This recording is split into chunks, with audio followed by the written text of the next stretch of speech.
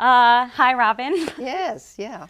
Thanks for joining me on this day, this beautiful day outside, to Mm-hmm. talk about the Peace Conference. Um, so, just before we started, we were talking about your trip to New Mexico. Do you want to talk about that? Oh, okay. Yes. Well, our speaker for um, for the peace conference coming up on uh, Saturday, the uh, the twelfth, is Beata Tsosie Pena. I think I have her name right. And I was going to New Mexico anyway to visit my cousin, and uh, I thought, well, I'll just go and interview her in her location and at the center of the Tewa uh, women's organization uh, in this town outside of Santa Fe. And, uh, and, and it was wonderful to see her there and to meet her mentor, whose name is Kathy Sanchez. And she was saying, oh, she wished she could bring, bring her mentor with her. I, I felt that there was a very beautiful and intense relationship between the two of them because the women's group amongst the, the indigenous people there is, is, is very strong and very active and very concerned about the environment. And their concern about the environment stems from the fact that their, um, their pueblo is right there uh, next to, in fact, occupied by the Los Alamos nuclear lab. And those of you who may know uh, and follow nuclear issues, uh, New Mexico has the most nuclear uh, uh, um, establishments there, either uh, uranium mines or uh, waste deposits, or a place like Los Alamos Nuclear Lab, which makes the plutonium pits, as I understand it, for nuclear weapons. So her tribe has been very involved in in understanding this. Many of her people work there so that they can't, they don't feel really that they want to close down right away until they have some alternative for their their people, but they're very concerned about the environmental impact of, of it. So she will be joining joining us uh, Saturday, and uh, it's very exciting. And on top of that, she's a singer and a poet. So Yeah. And and she's coming on Friday before the peace conference and participating in a um, um, a Young Writers Project event on Friday night that MGMC Muslim Girls Making Change is taking uh, a leadership role in uh, organizing. There's like a youth conference sort of component of the the evening, and then there's um, a workshop, uh, and then some some poetry performed, and Beata will be performing at that event too, which is um, pretty exciting. Yeah, To sort yeah. of have more um, art influence the the learning that happens with the peace conference. Uh, so we actually have a video from Beata uh, inviting everyone to join the conference next or this coming Saturday, the the 12th. So at this point, we'll play the play that video so that you can hear directly from our keynote speaker, Beata. Hello, I'm Beata Tsosie Pena. I'm from Hapoawinge, Santa Clara Pueblo, New Mexico, and I'm coming to speak at the Vermont Peace Conference now in May, and I'm looking forward to being there. And you know, I'm really concerned with the nuclear weapons production happening here in my ancestral homelands and all of the impacts that we face. And I know collectively, a lot of people are dealing with harm from militarism and all of the intersections that come along with that. So I'm happy to be coming and sharing some of my story and our work that we're doing as part of Tewa Women United's Environmental Health and Justice Program. And I hope you'll come and uh, get to meet you there. See you soon. Thanks. Okay, so uh, in addition, so the peace conference is from uh, 9:30 to 4:30 on Saturday, and in addition to the keynote, which we've talked a little bit about, and um, hopefully everyone's super excited to come and see, um, and we're really grateful to CCTV for filming that keynote as well. So you, if you are not able to come to the conference, you will be able to see um, the talk, um, which will include some poetry as well and but you should come. But in addition to the keynote, we have a variety of workshops that throughout, happen throughout the day. Uh, and uh, so we don't have time to go through every single workshop, but uh, I was hoping that you could talk about a couple that you are uh, super And excited even about. even before that, I Yeah, want yeah, to say that it's taking place at the old North End uh, Community Center. Mm-hmm. And last year, it was at uh, our peace conference was at the Winooski High School, which was a very nice venue and convenient for people coming from out of town because they could get right off of the uh, um, uh, uh, uh, off of the highway. But I'm excited that it's going to be at the community center because it's such a remarkable institution that has only been there for what one one uh, year or so. It used to be a you know a Roman Catholic elementary school right right next right across the street from St. Joseph's Church. And Yeah, a lot is going on there. So I think just coming and taking part in our conference and being aware of the multitude of activities going on there that are sparking our community energy is really nice. So yeah, well, there's all sorts of wonderful workshops going on. One that I'm I'm especially excited about is called um, "How to Get Rid of All Nuclear Weapons." And in fact, I want you to take a picture of me. A Okay, yeah, photo. mhm. Yeah. Yes, yes, Okay, into because it. as a part of this nuclear ban. know your passcode. Oh, dear. Here, Oh, just put your thumb on it. Oh, all right.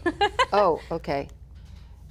Um, all right, there. okay, I got it, got it. Nuclear Ban US is an organization recently founded in Northwest in um, Northampton, and so this is the kind of slogan. You did it. No, no, I haven't done it because Oh, I didn't want to get it while you were talking. Okay. Okay. There we go. Good. Got it. All right. And you can go online to Nuclear Ban US and uh, download this and take have your picture taken. Uh, basically, um, you know, the, the, the anti-nuclear activists are very um, energized now by what happened last summer when 122 nations uh, declared uh, that they supported the abolition, the prohibition of nuclear weapons. 122 nations. Now, agreed, those are a lot of the very small nations, but there are also a lot of big nations. None of them so far are the nuclear nations. So the goal of Nuclear Ban US, and they will be doing a workshop at the conference, is that uh, we can work on the grassroots level to declare that we are compliant with the treaty by uh, having nothing to do with nuclear weapons. And on the municipal level, that means that the city council, that the retirement board, and so on scrutinize their investments and that they are not investing in any of the companies that make nuclear weapons or components or you know, bring um, pizza to the to the nuclear companies that make these things. Um, and uh, there's actually 26. Um, there's a list of 26 multinational co- corporations that are involved in making nuclear weapons. So it's uh, you know it's a sort of precise thing that I think shouldn't be too hard to. Um, uh, convince our uh, city council to pay attention to. And in fact, the two people who are coming up to do the workshop, Timmon Wallis and Vicki Elson from Northampton, were planning to meet with the mayor's office and start the ball rolling to make Burlington um, nuclear compliant, nuclear treaty compliant. So their workshop will be describing uh, how to do that. That it's a lot more than just you know maybe the 26 um, corporations that we want to have nothing to do with, but this will set the groundwork if it happens around the country Yeah. to put pressure on our government. And you know I think the president is not likely to. Uh, respond positively to this, but uh, Congress can, and uh, perhaps Peter Welch can uh, respond to this. So uh, that's one workshop I'm really excited about. Yeah, and and you spoke a little bit to to the style of the workshops as well. While there isn't one particular set that each workshop holds, the uniting sort of format of the workshops are that they all seek to answer what will it take to build a world beyond war, which is the same prompt as last year, but um, there are different workshops this year. Uh, so they all seek to answer that in one particular way, like, uh, and and that most of them are not just information, like here's so so that you know all of this information on this issue, but information that spurs action. Mm-hmm. So like that that that is, is a, a sort of another theme of the workshops, which are only an hour. So even the most exciting workshops leave out a lot because in one hour you can only do so much. But it's like, here's a bit of information that we can all have together. Mm-hmm. And then here's a bit of information on how some action can be taken uh, to address this little sliver of what it will take to build a world beyond war. Yeah, yeah. Um, and that was a great description of that workshop and also of the action part of it. Mm, you know, mm, that if, if we're all doing something, that, mm-hmm. that is meaningful and can accumulate to have a, a larger result, than, mm-hmm. then we can maybe even see from mm-hmm. our own. Well, I think that's so important to uh, emphasize because, you know, I, I've talked to some people and they say, oh, well, another peace conference. I've gone to peace conferences for years and we just uh, talk, blah, blah, blah, blah, blah and and look at where we are right now. I mean, uh, actually, the the um, you know the nuclear alarm clock is closer to midnight to zero hour than than it's been for decades. Mm-hmm. So, and military spending is higher than it ever has been. I mean, 54% of our discretionary budget, the amount of money of the budget that we can that that Congress can decide where to allocate the money. 54% goes to the military, mm-hmm. and yet the the um, the president is talking about as though we're behind and we have mm-hmm. to spend more. I mean, China has only 215 bombs, so they say. Though one wonders how how that nuclear bombs nuclear bombs, and that's so that's minuscule compared to the 15,000 that we have. Mm-hmm. On the other hand, with 215, you can pretty much destroy the whole world a mm-hmm. number of times over. Right, but we don't need to play catch up. yeah, yeah. Mm-hmm. yeah. So that uh, there just needs to be a uh, puncturing of the bubble of nuclear spending um, and military spending, and someone to say, let's sit down and use our money in a in a uh, sensible way. And uh, on our workshop, um, Me Too and the Global Women's Movement. Mm-hmm. Right, you're uh, doing that workshop with, with two other um, people. With Marguerite Edel, Edelman and um, and Peggy Lewis. Mm-hmm. Yeah. So Marguerite was in New York this spring at a conference on the Commission on the Status of Women, mm-hmm. and you know gained lots of information about, for example, the global movement for CEDAW, which is the elimination of discrimination against women, which is a um, which has become a global thing. And again, that is an issue that couldn't be proposed to our city council that mm-hmm. uh, we should uh, initiate some of these protections of women um, uh, in, in, our city. And, um, and Peggy has been very active. For example, she went to um, Greenham Commons back a couple of decades ago, actually, but they, these were women who encircled a cruise missile camp in uh, England and stayed there for several years uh, and succeeded in removing the camp. So, I mean, my feeling is the time has come for action, and that's why our conference is so important because we're talking about action. And right uh, two days after the conference is the beginning of the Poor People's Campaign. Mm-hmm. Do, do, you want to say anything about that? No, you should. Should I should? Oh yeah, well, yeah. okay. Uh, I want there to be things said about that. Uh, yeah. Okay. The Poor People's Campaign is uh, I think, an, uh, an amazing coming together of religious groups and union groups and activist groups. Uh, and it has a real moral compo- component to it because the guy leading it, his name is um, William Barber. he's a, a minister from North Carolina who has been leading something called Moral Mondays in North Carolina every every Monday, going to the state house, which is controlled by far far right Republicans, and saying this is not justice what you are proposing. This is immoral. And so now he's bringing it uh, to a um, national scene and completely tied to Martin Luther King and his effort to have a poor people's campaign, which was what he was involved in doing on the week he was assassinated yep. in uh, Memphis. No, Nashville, whatever. Anyway, um, and so here in there, there are 35 states around the country who are committed to this uh, Poor People's Campaign. It's kind of top organized, but there's a lot of energy from the grassroots as well.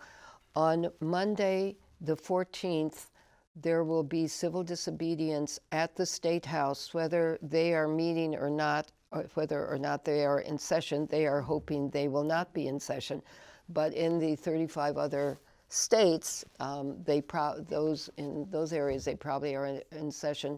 The plan is to uh, commit the civil disobedience on State Street, right in front of um, the school, the uh, the state house, and you know the commitment to do it means you are willing to get arrested, mm-hmm. and so therefore it has to be done in a place where there will be a motive to arrest you. You can't just do civil disobedience on a, uh, on a, in a park or on a lawn because no one cares whether you stay there all night or not. Where, so here, uh, I think it's a very interesting new um, step taken that many people are feeling that they want to do something strong and drastic. And I uh, compare it to the film called Networks that was shown years ago, where a guy was saying, I'm as mad as hell and I can't take it anymore. And he went to, he was on television saying this, and he asked everyone to go to their windows and shout, I'm mad as hell and I can't take it anymore. We're sort of at that stage mm-hmm. here that we're mad as hell and we're trying to figure out what we can do to shift turn turn the turn the gigantic boat of state around and and start being kind and compassionate again. Mm-hmm. Yeah, and and to do it in a way that uh, is intentionally uh, movement building and looking at things through uh, seeing injustice in and its intersections and its mm-hmm. interconnectedness too. So, um, and that's a, a big part of this peace conference as well is like this is about movement building. It's not saying everyone needs to do this one action and then change will be made and our problems will be solved, but more um, we, are wanting people to participate in the peace conference and, and register for, for workshops that look at uh, building a world beyond war in a through a lens or um, in a way that you may not know a lot about yet or you may have not thought about the intersection of um, feminism and building a world beyond war or uh, ec- economics and building a world beyond war or um, so on and so forth. And so to encourage people to sign up for programs that aren't necessarily what they have an expertise in or what they study all the time, but so that we can continue to broaden our uh, sort of lenses and how we see this work and how we address it, and to not um, feed into the sort of competitive world that sometimes we can get into in social justice work of like um, certainly with the nonprofit industrial complex, we can get into that mm. sort of like this is the action and all others forget about it. This is it, um, which is really problematic to building a movement, um, having a, uh, an inclusive uh, campaign or series mm. of campaigns. Uh, I think that throughout time, strategies that have been effective have been have had multiple avenues of uh, taking on injustice. Um, so that's something that we're definitely looking for. And in that, uh, we're hoping that the peace conference will get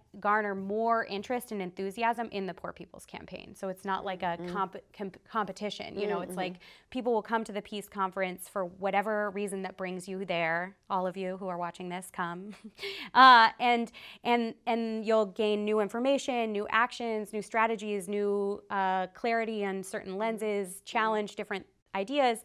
And then also, um, as part of the closing, um, we're going to have folks um, from the Poor People's Campaign of Vermont and also Beata, our keynote, who's very involved in the Poor People's Campaign uh, in New Mexico, will speak about the importance of the Poor People's Campaign. And hopefully that will just help further a movement mm-hmm. for change, but mm-hmm. not be in, in uh, competition. Mm-hmm. And also, I figured I should just like mention that the pictures that are shown behind us mm-hmm. are from last year's conference. Mm-hmm. Um, so we just figured we might as well put them up, and then if you see people that you know, you can talk to them about what the conference was about, mm-hmm. um, and yeah, well, there's, year, I mean, all sorts of uh, uh, interesting other workshops. I mean. Uh, there is uh, my friend Charlotte Dennett will be talking about pipeline politics. She's writing a booklet about how the wars in um, in the Middle East, especially, are taking place around where pipelines either are or will be, because you can have oil, but if you don't have a way to get the oil out to boats or um, you know, and, and brought to the United States, then how are we going to, how will our military survive? Because militaries survive on oil. Of mm-hmm. course, alternatives now are, have been developed uh, that put less pressure on on on oil and pipelines, but I, our our governments are still sort of like dinosaurs involved in in for example Afghanistan where the pipeline will go through. It's she shows that that's where our bases are mainly mm-hmm. to protect where the pipeline will be. It hasn't been built yet. So that's a, going to be a fascinating workshop. There's a workshop on North Korea, and uh, there again, just want to bring up the role women have played both in uh, supporting uh, Reverend, it's not Reverend Moon, but Mr. Moon, the current president, who is seems to be a real peacenik, mm-hmm. and he's the one that's promoting the the talking with uh, Kim in North Korea. And if anyone gets the Nobel Peace Prize, it should be Mr. Moon for and and maybe and maybe Kim together if they manage to make a real peace conference and not our president. Mm-hmm. Uh, although he's um, he's urging, he's hoping to get it, and there will be. Um, a workshop on uh, the F 35, which I know many people in town, of mm-hmm. course, are very concerned about. Um, and that's led by Adrienne Kinney of the um, uh, Veterans for Peace. Mm-hmm. Yeah. So. Um, and all the workshops, except for the first one that we talked about um, with folks from Northampton, mm-hmm. all the rest of them are led by Vermont folks. Mm-hmm. So it's all, um, and I will add that it's Vermont people in Vermont who are doing this work from a, around the state. Uh, mm-hmm. Uh, I right now, so uh, if you're planning to come to the conference, it's great if you can register beforehand. That makes it a lot easier on on our uh, end. You can go to pjcvt.org to register. Uh, and I just looked at the registration forms. We have over 50 people already registered, and mm-hmm. so many of them are from outside of mm-hmm. Chittenden County. Mm-hmm. So mm-hmm. Burlington, like, mm-hmm. make it happen. You know, like what are you what are you doing here? Yeah, there's so many people from all around the state, and I think part of that is because we have presenters and workshops being led mm-hmm. um, from folks around the state. And it reminded me because Adrienne is from uh, Randolph. And mm-hmm. so mm-hmm. there's a whole crew from Randolph coming up. There's and and there's individuals um, who found out about it through the World Beyond War website or through the Thousand Trainings Project or different things that have found out about it other places and then um, come. Mm-hmm. We ha- mm-hmm. we also uh, you received an email from a musician Oh yes. Uh-huh, uh-huh, yeah. Yeah. and um, who is uh, based sort of in New York and LA, Mm-hmm. who um, is was really inspired to be a part of the program and Mm-hmm. uh, is going to perform in the early part of the day as people get registered and settled, and then Oh, right. also as part of the closing, which is really exciting. Uh-huh. Um, Yeah. Now I was asking you about Mm-hmm. um, the gender uh, uh, um, uh, percentages at the workshop last year, and you said about one third men and two thirds women. And um, yeah, I mean, I don't know that as far as like a data analysis, but I, we were just sort of chatting. Like, do you remember Uh-huh. last year how many? And I because I really want to encourage men to come, of course. Uh-huh. And uh, we were going to have a workshop uh, led by this group, but he was not able to come. The magazine for changing men, Voice Male, and uh, I, I really think that uh, you know. Uh, more and more men becoming more actively peace activists is is very important, uh, and we often find that it's women uh, nowadays taking the lead, but we need to do it together. Well, and doing a lot of the um, sort of ongoing resistance work, Mm-hmm. I think uh, maybe not being seen as leaders within peace peace building always, but Mm-hmm. really being on the grassroots, doing the doing the work on the ground, which I also think um, uh, there's a lot of work being done consistently by folks of color as well, folks of color and women who aren't necessarily seen as leaders in peace movements, um, or as you know, if we if the average person from the United States were to think of like leaders for peace or nonviolence, they probably would think of men. Mm-hmm. Don't you think?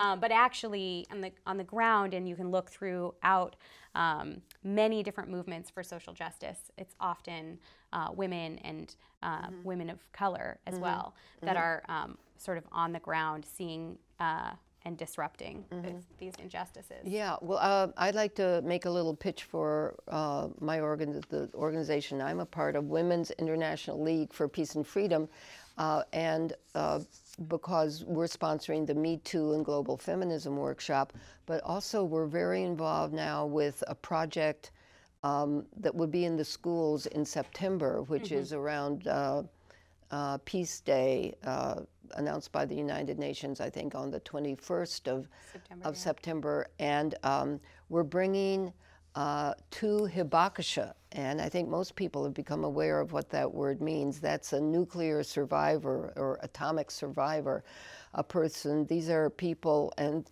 they're all in their 80s now. I mean, because they were present in Hiroshima or in Nagasaki when the bombs were dropped. And there is an organization called Hibakusha Stories that is very active in disseminating information about um, these about what happened and why it happened and how it should never happen again. So two Hibakusha are coming up, and possibly uh, in addition, the grandson of Harry Truman, hmm. and mm-hmm. he Harry Truman mm-hmm. Dropped the bomb. I mean, he gave the okay for dropping the bomb in 1945, and now his grandson is an anti-nuclear activist. And I think I maybe heard him on Amy Goodman Democracy Now! he might well have been there. possible? Yeah, yeah. And so um, we're really excited. We're getting the schools are opening up to hearing this message, and we've been working very hard, getting grants and so on. And Maho Takahashi, who lives in Burlington now, was very active on something called the Peace Boat, which is a boat sponsored by Japanese students actually that goes around the world talking about not only um, nuclear weapons but peace in general. And we're very lucky to have her here, sort of uh, uh, leading this uh, project. And of course, Hiroshima Day will be coming up in August, August 5 and uh, 5 and 9, uh, the two, two dates of the, when the bombs were, were dropped. So we hope to raise awareness um, at that time about it. Yeah, and the Peace and Justice Center um, always Yeah. does some sort of remembrance. Yeah, um, walk into the that. river. Uh huh. Yeah, Yep. and and walk last year we lake. yeah last year we partnered with Wilf in a more Uh-huh. official way than in past times, which was great. And it brings up a good point about so the conference is um, the Peace and Justice Center is is presenting the conference in collaboration with the uh, Vermont Stands for a World Beyond War Coalition, which includes a bunch of different organizations from around Vermont. And um, as part of the conference, there, there will be tables with more information about all the different um, co sponsoring organizations. And many of them, like WILF, like Women's International League for Peace and Freedom, have ongoing campaigns, have upcoming projects, have ways to take action, have ways to continue your education. So, um, definitely, even in the sort of downtime of the conference, there will be some meaningful uh, connections to be made and meaningful ways of continuing to take action. And So could that's you could you talk about the youth component? Because there's one workshop that's definitely sponsored, going to be run by young yeah, people. one of our um, one of our partnering organizations is um, Global Unity and Solidarity Club at Rice High School, and so we've been working um, since uh, the summer uh, on this or late summer on this conference with a bunch of different organizations and individuals, and we've been working with students from Rice Memorial High Mm-hmm. School um, from that from the beginning, basically. So Um, if you, if you if people are, are watching and they have teenagers in their Yeah. Mm-hmm. family or amongst friends, bring them because we want the younger generation to get Right, and there's actually more than this. just that. So the that workshop, um, Let's Talk Generations of Change, will be led by students from Rice, um, who are also so they're part of the um, Global Unity and Solidarity Club at Rice, but they're also um, part of the Student Diversity Union at Rice. So there's a bunch of different student diversity unions that have um, been formed just in recent years at the different um, high schools, uh, not just in uh, the Burlington area, but beyond. Uh, and so the, these students are parts of both of those Mm, that's those great. groups. Um, and then also uh, a workshop that's happening in session two, uh, seeing and disrupting racism within pre- predominantly white communities, is being led by two folks um, from uh, Hardwick, Cabot sort of area of Vermont, um, and one of them is uh, is a high school student as well, um, who's co-leading the that program and is really an amazing facilitator and great in a lot of ways. And then also in session one. Um, Building Empathy and Hope with Kids for Peace is being led by Jeff Mendel, who's the um, staff person for Kids for, for Peace, along with students from Kids for Peace. So if you wanted to come as a as a student or as a young person and be in all programs that were led or facilitated by high school students um, or co-led by an, an adult and a high school student, then you could, because you could, session one, you could sign up for um, the Building Empathy and Hope with Kids for Peace.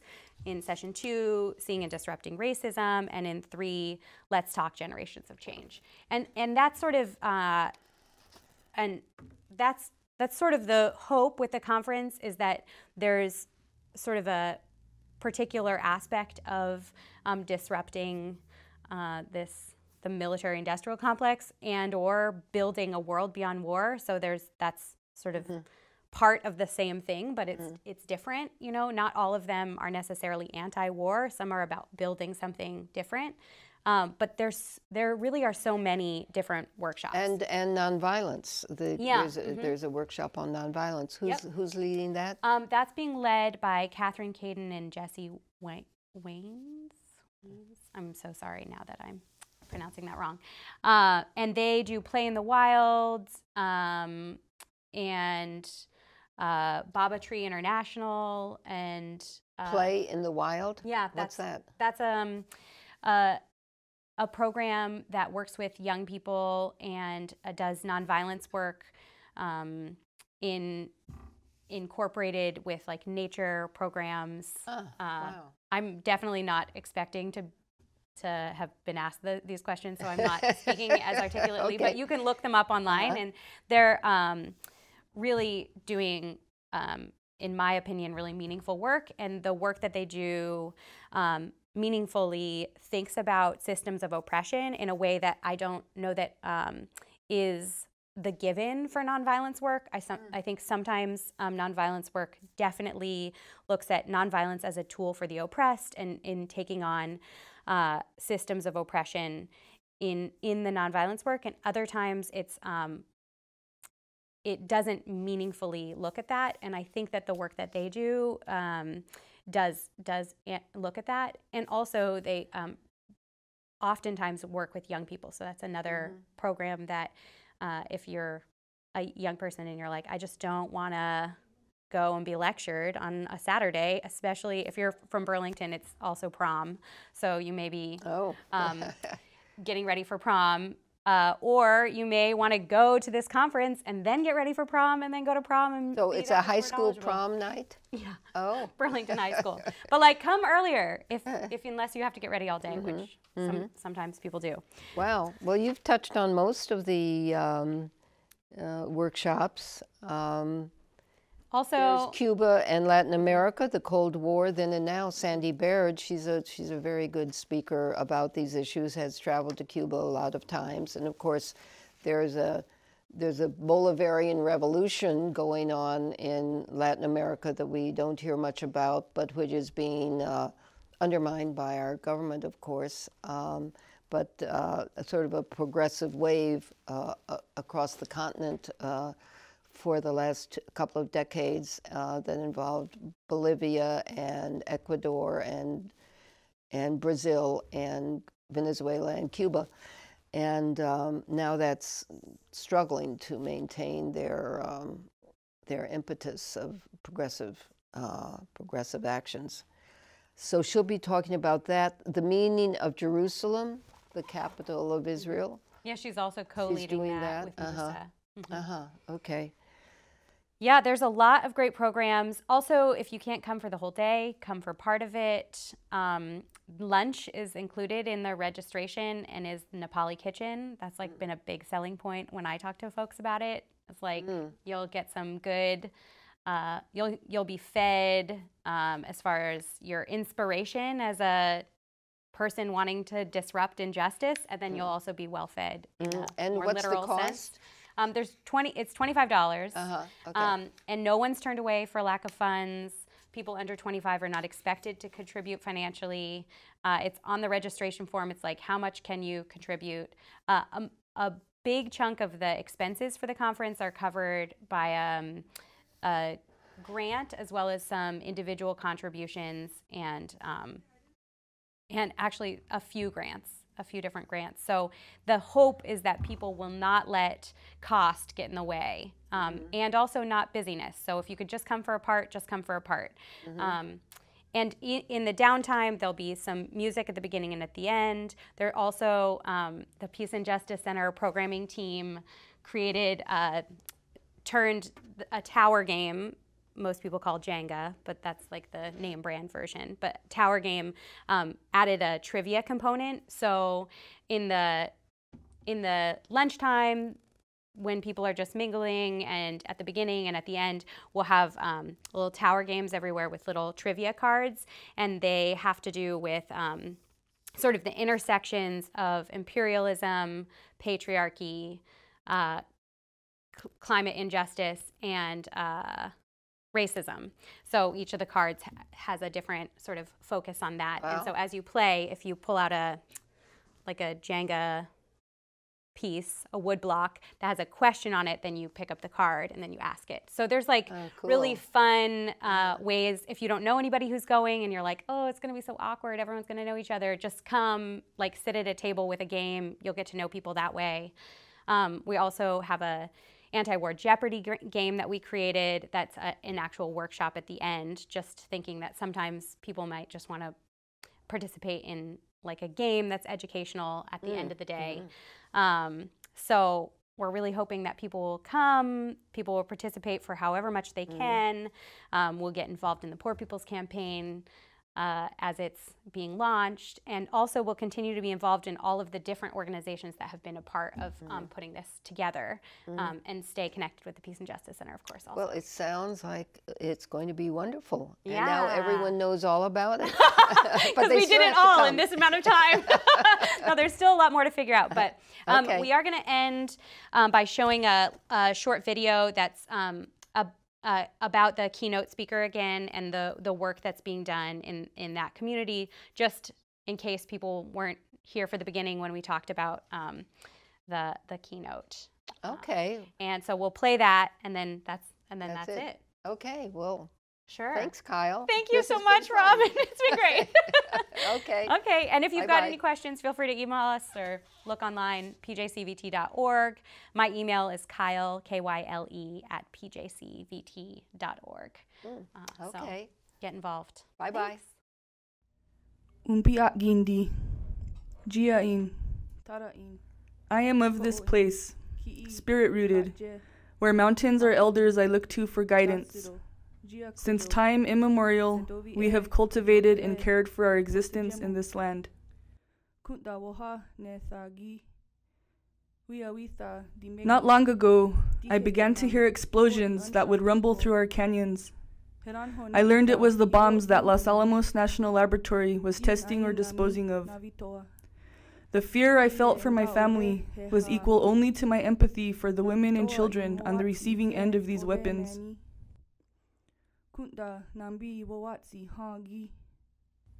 Since then, I have had the opportunity to learn more about what is taking place in my homelands. I learned how my home is the most contaminated nuclear site in the nation for airborne plutonium. How PCBs and other chemicals are migrating into our aquifer, and how safety standards do not protect those most vulnerable. Our life, our water, rests beneath a nuclear waste dump up on a mesa known as Area G, where ancient kivas are now full of barrels of mixed radioactive waste. Our traditions teach us of reciprocity with the land, how what we give is what we get back. No longer can our people's jobs be dependent on an industry that conflicts with our values and beliefs. I pray every day that the nuclear age and the culture of violence transforms for clean earth, air, and water, so we can be free of fear from invisible poison. I come from people who create gardens, who are seed savers and life givers, who sing prayers, who take care of future generations, and follow natural law.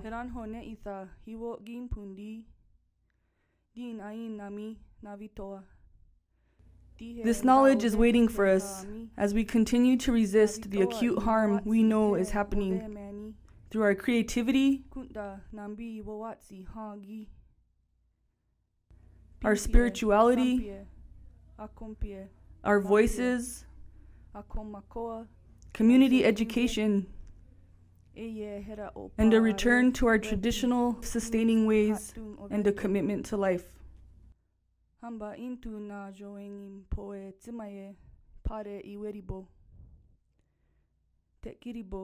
Ivi sigi ami, hera ivi ami,